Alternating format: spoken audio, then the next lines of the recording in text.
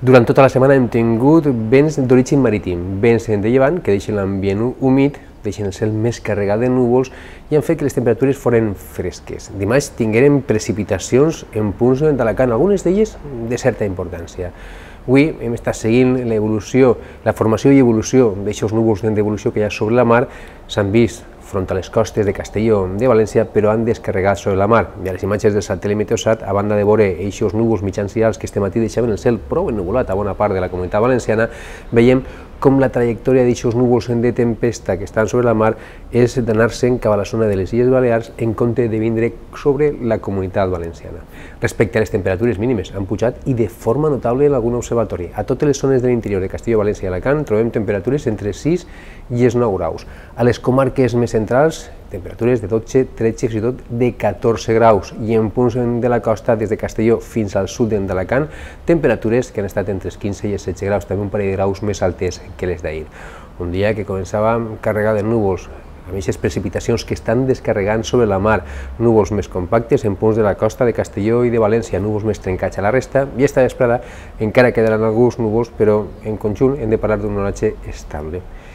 esta pròxima nit. Ja notarem el canvi en la direcció del vent. Començarà a bufar del sud-oest i això ens fa pensar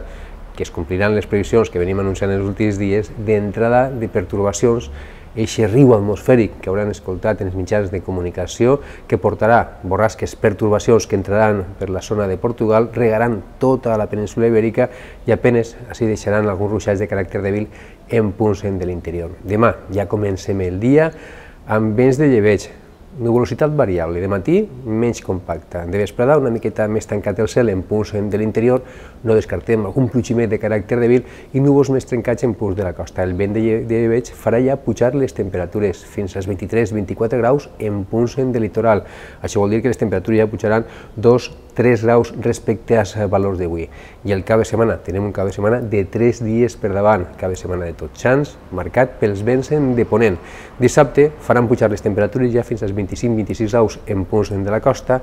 nuvolositat variable, sempre més compacta en punts de l'interior, on deixaran ruixats de caràcter dèbil a les zones més interiors de València, nord interior de Castelló, de vesprada. I tant diumenge com dilluns esperem que l'oratge continuï marcat per eixe vent de ponent, que en algun moment donarà ratxes moderades, que farà córrer els núvols des de l'interior cap a la costa, deixant pluja més de caràcter dèbil, sempre més probables en punts del nord i de l'interior, i tant diumenge com dilluns es mantenen altes les temperatures, podien tocar en punts de la costa els 26, fins i tot els 27 graus.